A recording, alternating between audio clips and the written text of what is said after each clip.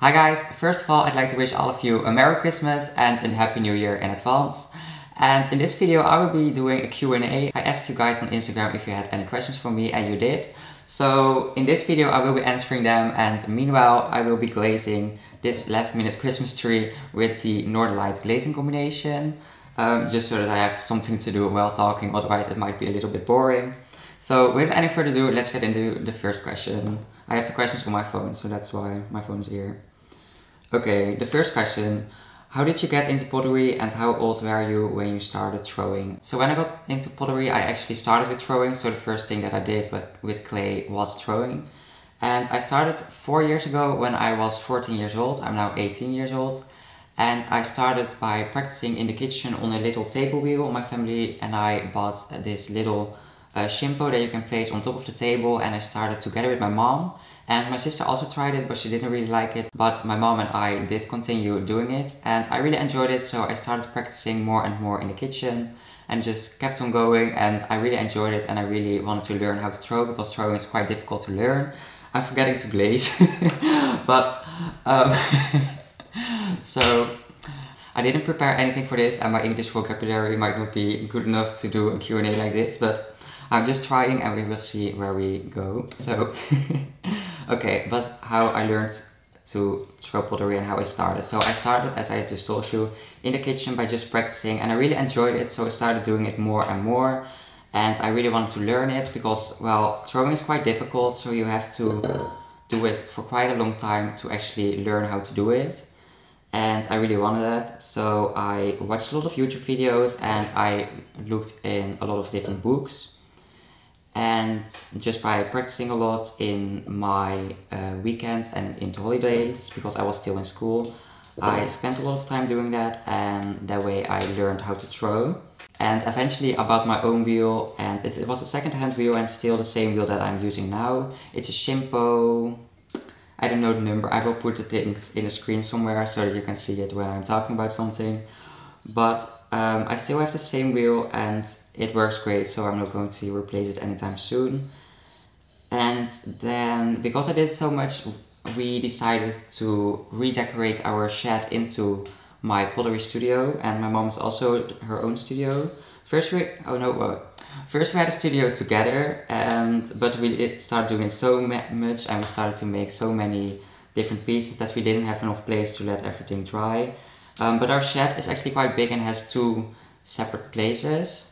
So we decided to, well first we were like together in one place and now we had decided to renovate the other place into a studio as well and that's now where I am. I'm really happy about that. Someone asked if I could do a studio tour. I will be doing that but I am not but I'm not going to include it into this video because I'm already talking so much so I don't think that if I will also add a studio tour into this video it will be a bit of a long video. So I will be making a studio tour in January I think. Um, so yes, that's how I got into pottery and how I got to where I am today. So next question.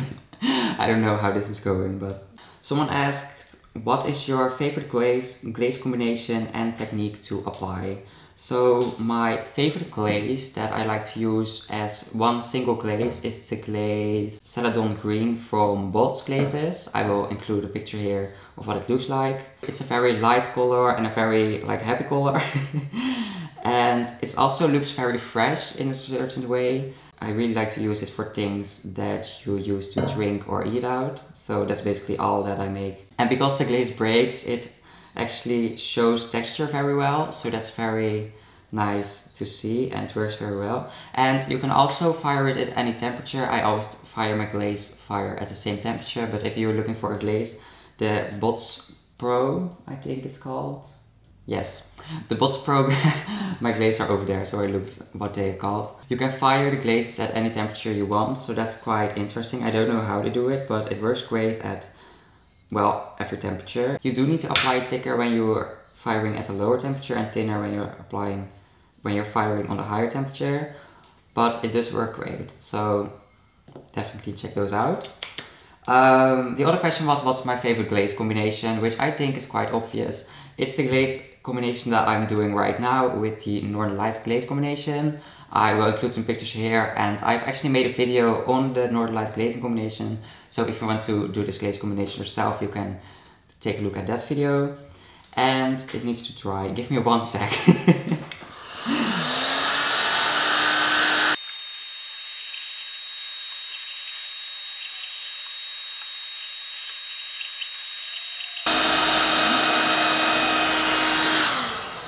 Okay. um, yes, and the last question that was included in the previous question is what glazing, what glazing technique I like the most, and that's the bubble glaze technique. I find it very fun to do because you never really know what it's going to look like. I mean, I control the technique quite well, so I know how to do it that it works, but the pattern, the pattern always gets different, so I really like it. And you can do it with different colors, with different underglazes. If you want to know how to do that, I've also made a video about it, so I will link them down below. And yes, up to the next question. I don't know if up to is English, I'm just pretending I speak English here. Someone asked, what is your favorite creation so far? Actually, multiple people asked that. Yes. So my favorite piece, let me get it, give me one second. okay, so this is my favorite piece so far. It's not great lighting here for, well, you can see it I think. It's this big face with um, splashes on it. Also a technique that I really like, but the bubble glaze technique is just a bit more fun to do. Well, it's actually quite fun this, it does make a mess, so that's, that's not great. But yes, it's this bigger face. Yes, I don't know what to tell about it. I want to tell something about it, but it's just not, there's not really a story behind it. I just like it very well, very much. That's it. But actually my favorite piece changed a lot because I, I'm still learning new things and I'm still getting better at making ceramics. So every time I make new piece, they're better than the piece that I made before. So I think that the upcoming month I might make something that I like more than this face. So let's see what happens. Okay, next question. uh, I don't know if this video is a mess, but I'm just trying to make something out of it, okay? Okay, so someone asked what got you into doing pottery, and I just told how I got started with pottery, but not how I got into doing pottery. This is another question. But I got into pottery because, well, my family was interested in it as well, especially my mom. And so we actually got by pottery because of the Throwdown, which is a, which is a program program, which is series, which is a series in the UK where they have this pottery competition. And yes, we, we watched that two seasons, I think, and then, or one season. We watched it, we watched it, and then we were like, oh, that's cool, we want to do it too. So we got the smaller wheel and started to do it ourselves. That's like the first inspiration to doing pottery, okay? Next question, let me read. I'm dyslexic, so I'm not a fast reader, so give me a second. Someone asked, what kind of beds do you prefer? Prefer, prefer, prefer? Okay, what kind of beds do I use? All of the beds that I use are plaster beds. I like them because, well, wood works great as well, but I use a lot of water when I'm throwing and wood can like warp if that's the right word. And plaster can't. So that's the reason why I really like throwing on plaster. And also, when, for example, throwing plates, plates are quite difficult to get for, off of the bed. But when you throw plates on a plaster bed, then the clay actually just dries and it pops off. So you don't have to cut it off with a wire. So that makes it a bit safer to throw plates. Not that I'm a great fan of throwing plates, but it just, it just, I prefer plaster beds. Someone asked, what is the biggest hurdle for you being a pottery business? Okay, so we're going to the business side of pottery, which is turning more and more into. So what's my biggest hurdle in my pottery business? That is probably the shipping. Shipping pottery is quite, well, difficult because it's very fragile and it can break quite easily easily easily.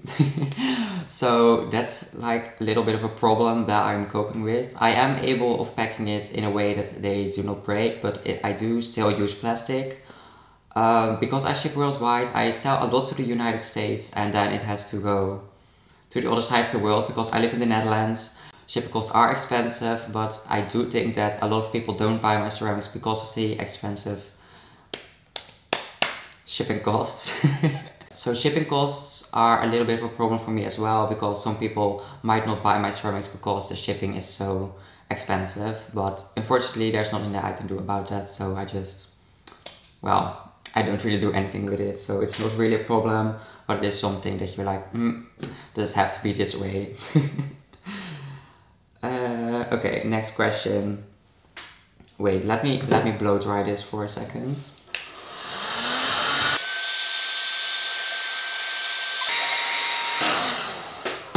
Okay, and let me stir this. Don't forget to stir your glazes.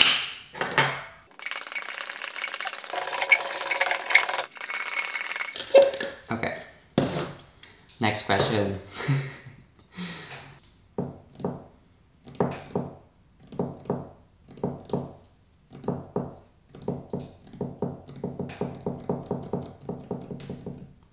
Someone asked, how did you grow your reach? And they're probably mainly talking about Instagram.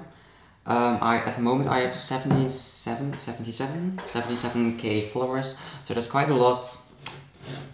I don't want to brag, but it's quite a lot. I don't, I did, I never expected to get so many followers. When I started out, I didn't even know what a hashtag was. So, as a 14 year old, yes, I didn't know what a hashtag was.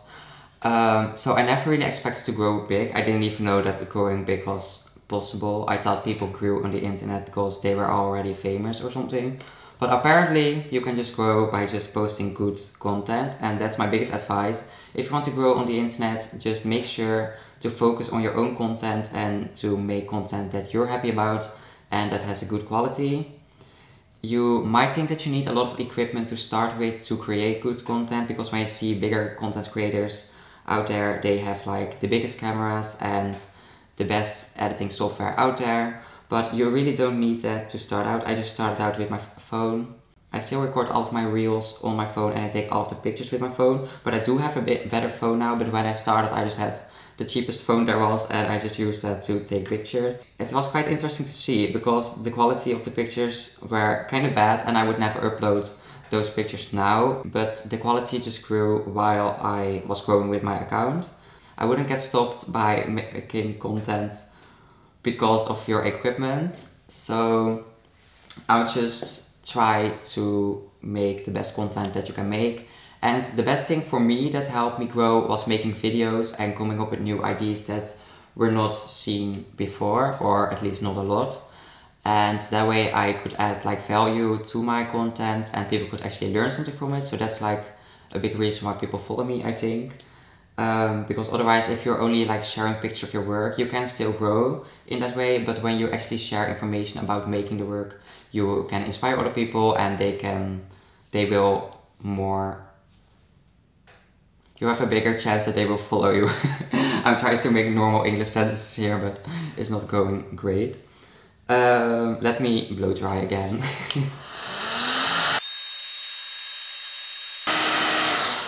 okay so that was my answer to the question how I got to the reach I have online right now.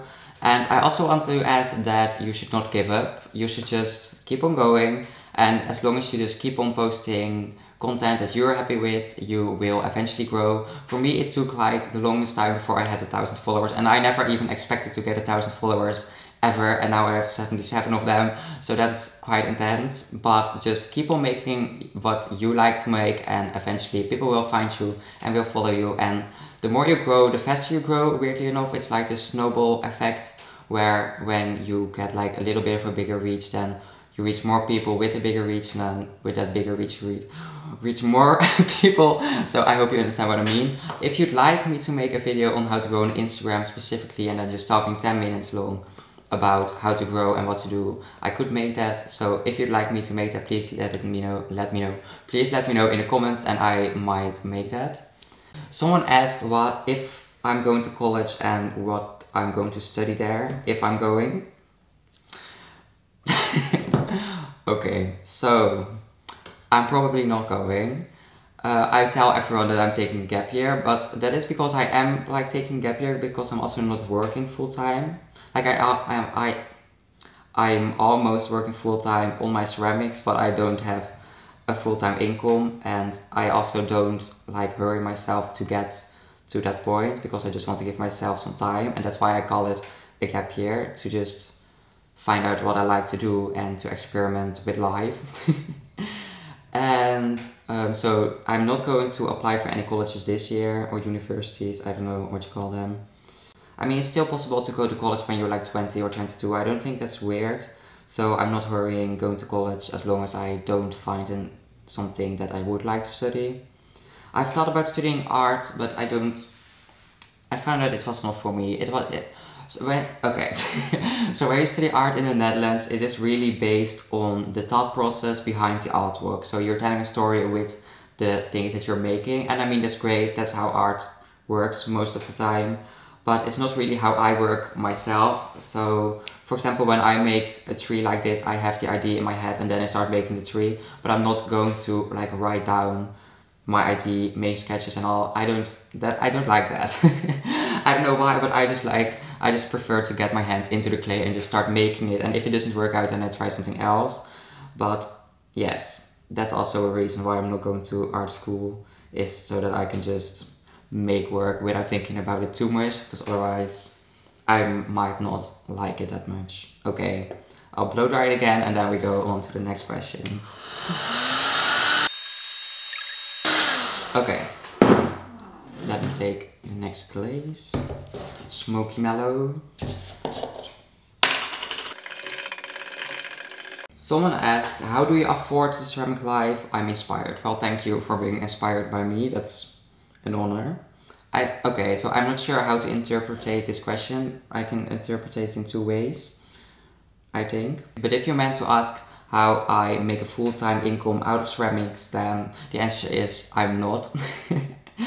um, I'm working on making more money. Um, I mean, it's not that I'm in a hurry to make more money, but I am working on multiple income streams to make more money and eventually be able to like live on my own and well afford living in this world.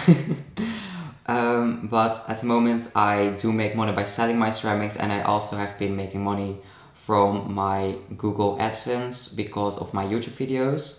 So for example the ads that you see in front of the video or in between the video is well YouTube pays me for those ads just a little bit like when you watch it I don't even get one cent but I get a little bit of money every time someone watches an ad. So that's okay. So I'm still working on an income, but I'm I'm getting there. But if you mean how I afford the ceramic life in the way as it being a hobby and how you afford being able to make ceramics, that's actually kind of the same answer because I afford it by selling my ceramics. So for example, when I need new clay, I can just sell a mug and then I can buy a new bag of clay and make 30 more mugs or 20, depending on the size of the mug.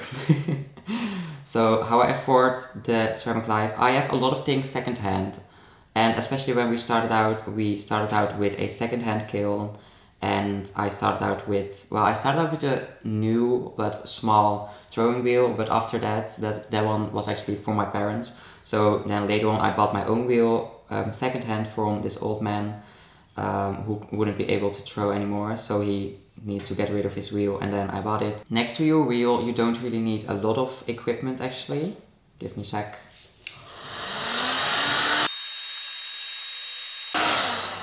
Okay, I say okay a lot, but that's okay.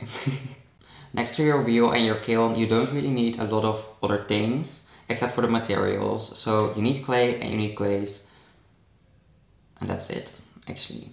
And for the glazes, glazes are quite expensive, but they are, but you don't need a lot of glazes to make like ceramics. Like with one glaze, you can already start off. Um, but for example, with this Northern Light glazing combination, I use four different glazes for one combination, but you can just use them in different ways as well. So for example, this Smoky Merlot, and I'm now applying it on top of Obsidian, and here's Indigo Float. Um, but you can also use these glazes um, just by, on their own. So as you can see here, it is like this purple color when you just use it as one glaze. So if you would just buy these four glazes, you can already make a lot of different combinations within these four glazes and also use them by themselves. You can also use Smoky Merlot together with Indigo Float on one piece and then like layer them on top of each other, which turns out quite great. I did that a few years ago and it worked out quite well. Just a tip. and yes, more than that you don't really need it. So for myself, I afford I afford everything by selling my ceramics. Um, but I understand that when you're starting off, you just need a budget to, be, and you need to practice before you can actually sell your ceramics. Because when I first started, the first year I didn't sell anything, and then the next year I started selling, and I sold like one thing a month or something. So it went very slow, but it grows along the way. And next to your wheel and your kiln, my kiln is there, my wheel's there, that's why I'm looking there. um, next, you also need a place where to throw, but like I told in the beginning, I actually started off in the kitchen, so maybe you just have a room or a place in your house where you can put the wheel and you can just start off there. You can also start off with hand building. In that case, you just you don't need anything actually, just a bag of clay and a kiln. Also, if you've never made ceramics, I would actually advise to go somewhere like to a studio and just take a class, to, class, class, take a workshop. You could just go to a potter and see if you can take a lesson and then you can see for yourself if it's worth it and if you want to invest the money in your own home studio or if you maybe you can just keep on taking lessons but if you do it a lot then eventually lessons will be go more expensive than actually buying the equipment yourself, I think. So, but if you never made pottery, I would definitely try it out before buying an expensive wheel or something. Okay? I don't know if these answers are helpful. I feel like I'm not giving any information, but I do my best. Next question. Wait, let me blow dry first.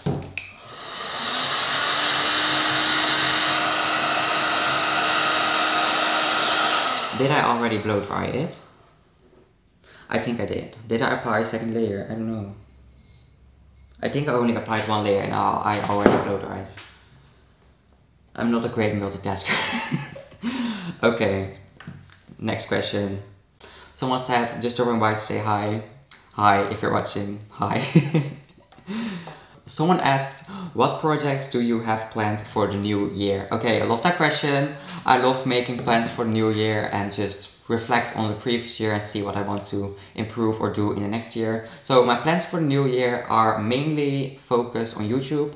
I'm really looking forward to make more videos, um, more instruction videos, but also more videos maybe about like how it is like to be a potter. Maybe I do a day in the life or something and I'm really looking forward to just make more videos and improve my filming style and editing style and all of that. So that's my main focus for the year and apart from that I'm also planning on just taking it slow this year. Okay, I'm really like I want to do a lot of things but I also want to just be able to take a breath and just reflect on everything that I'm doing.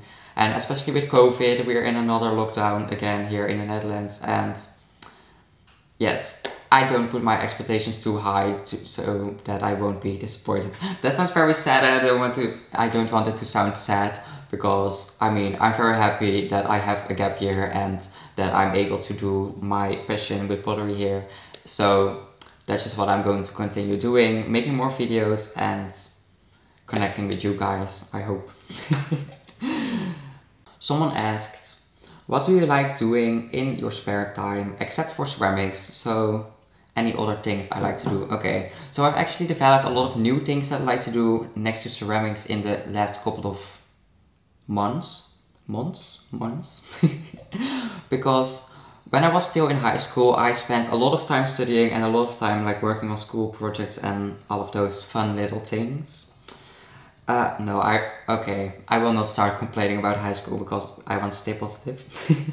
but I didn't have a lot of time for other hobbies at when I was in high school because when I had some spare time, I would always focus on making my ceramics and making content for social media, which I really enjoyed. Like it is a hobby for me and it's slowly turning into my job, but I that's what I want, so that's a good thing. But um, at the moment, things that I like eh, are, okay, maybe there are random things, but I don't really have like another creative hobby. I am looking for one. I'm looking for something creative to do to just sit down, do it for a moment, but also be able to just put it away and not something without a purpose actually. Because a lot of things that I do, I want to have a purpose for it. I don't know why I have that, but I just have to have a lot of things. And I'm looking for a hobby. I'm I'm okay. I'm looking for a hobby that's actually um, also creative, but in a different way. Um, but I also spend a lot of time editing right now, but that's actually editing the videos of my ceramics, so it's still about my ceramics. But something else that I really like to do lately is baking. So it's nothing professional or something, but I just like to bake some cakes or pies or cookies. Um, because I actually became vegan a few months ago. Before that I was already a vegetarian. I've been veg a veg I've been a vegetarian since I was 9, I'm 18 now, so, I've been a vegetarian for 9 years. And I already stopped eating cheese and drinking milk and then, because I didn't want to bother my family with being vegan, but then I just talked with them and I was like, maybe I want to become vegan. And they were like yes if you want to do that go for it. So now I'm vegan. Because I'm vegan I, there are a lot of things that I can't eat anymore. So I've actually been experimenting more with baking and well making things vegan without them feeling vegan. Like there's nothing wrong with something being vegan and taste like it's vegan but I really enjoy making things that feel like there's like like vegan butter for example really looks and smells and tastes like real butter. I don't know how to do it, but it's really interesting to me and I find it a very interesting process to become vegan and to find out what you can eat and what you can't eat and what you can do to get to more things that you can eat. So I really enjoyed baking. I will include a picture here or maybe two. Also baking bread. I want to say cooking, but baking bread is also baking. But I feel like it's a different thing because it's like not sweet. Although I have made a sweet bread, this one. and it was very tasty. So I really enjoy um, putting some work in something and then being able to enjoy it. That's why I like, I really enjoy making things. Like I make my pottery and then you can use it. But I also have been really enjoying this baking because you then make something that you can then eat and I eat it together with my family. So that's very fun and nice. So that's one of my hobbies lately. Also cooking. I want to cook more in the upcoming year. That's one of my, how do you say that? Goede voornemens. um, I want to cook more um, and experiment with different kinds of foods. And I really enjoy that and want to learn more about it because I don't really know much about cooking. But I want to improve my cooking because I enjoy it. Okay, there are actually a lot of like little things that I like at the moment. I also have been working out. I wouldn't say that I really like it, but I enjoy having it done. You know, like while I'm working out, I'm kind of dying. But when I've done it, I feel good about myself, being able to push myself to do it every day. So I've also been working out. Nothing major crazy or something. Like I'm just doing an at-home workout without any equipment so it's not like crazy. I'm not going to be a bodybuilder or something. I'm just trying to stay fit and get my daily movement in every day. Movements, moving exercise my daily exercise yes also, I really enjoy, sometimes, I mean, I don't do this a lot, but more so a little thing that I like to do is um, finding good music or good, what I find good, maybe your style's totally different, but that's the great thing about music. But I really enjoy to just search on Spotify and find playlists from other people and then go off all the songs and then select like the few songs that I like myself and then add to my own playlist. So I've been really enjoying that and I already have, I actually have a playlist together with a friend of mine and the playlist is already over 18 hours long, I think. Let me see. Yes, the playlist is 18 hours long and 47 minutes. So that's a very long playlist, which I really, it's just a little thing, but it's, I really enjoy putting time in it for some reason. I also like to relax by just watching Netflix. I wouldn't call it a hobby, but it is just a great way to, you know, sit down, turn off my head, my brain, and just relax a little bit. Um, so lately I've been watching a lot of Christmas movies because it's Christmas.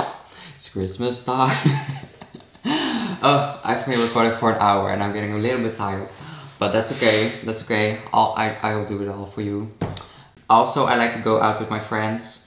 I don't know if that's like a hobby. The question was not even a hobby, the question was what do you like to do in spare time? So I like to go out with my friends, go into either nature or the city and then just shop and buy some new clothes. I really, I've been really enjoying that. I, when I was in high school, I never really put that much time and effort into my clothing, but now I'm kind of trying to learn how to match different outfits together and different looks together. I'm looking for a bigger hobby, um, or a bigger hobby, just a hobby that I can do every now and then. I don't really like a hobby when I have to do it a certain time every week. So like for example, if you would be playing a sport and you have like a training every week at a certain time, I don't enjoy that. I mean, I have done it in the past. I've been, I've played hockey, I've played tennis, and I've played um, in a circus school, circus school, like juggling and those kind of things, which I really enjoyed. But for now, I just want as many freedom in my time as possible. So I try not to have any restrictions, even though I am trying to keep up with an uploading schedule on YouTube, but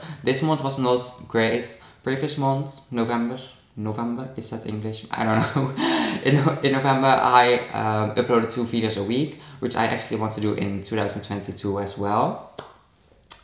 But the first month, I'm not sure if I'm going to make it the first month, okay? Someone asked, what would you like to have for Christmas presents? Okay, love that question. Thank you for asking. Um, for Christmas, we are. Let me glaze. I, wait, let me. I forget to glaze sometimes. It's.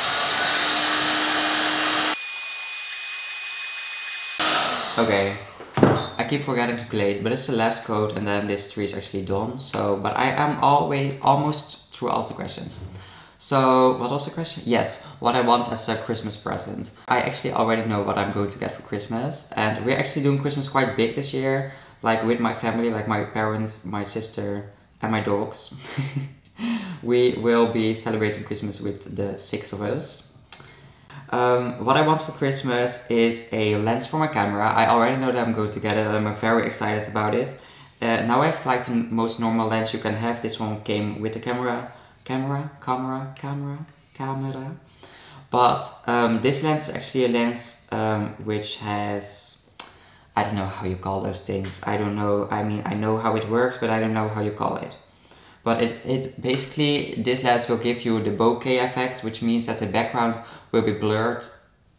Yes, that. And it also works great with the lightning.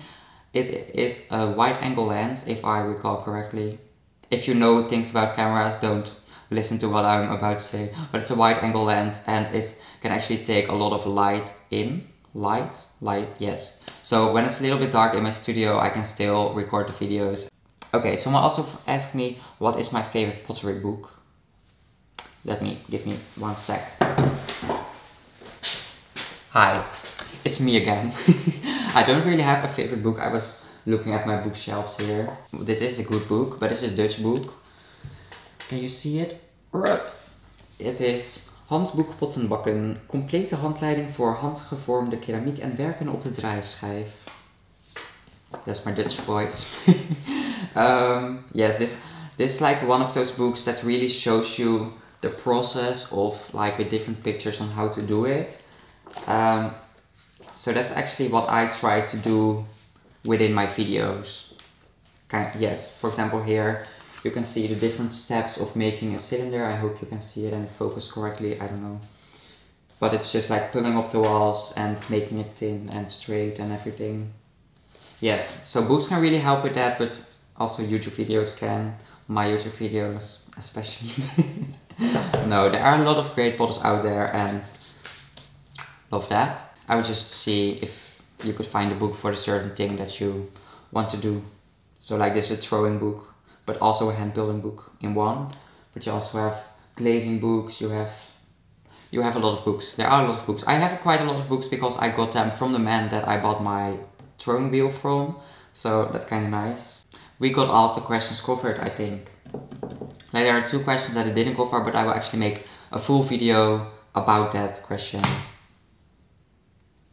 Yes, so that was it for this video actually. And Maybe it was a little bit of a messy video. I really tried my best. My English is not perfect, but I'm working on it. I'm learning every day and I hope that it might have helped some people that asked questions. Maybe it was interesting to watch for some people that didn't ask questions. Um, if you liked it, please give this video a thumbs up and let me know in the comments what you think about anything I talked about maybe. And if you'd like me to do it again in the future, just ask me and I might do it. Um, yes, and that was it. I really wish all of you a happy Merry, happy Merry, a Merry Christmas and a Happy New Year. And I hope, I wish all of you the best for 2022. So keep going, you got this. we all got this. I do too, I hope.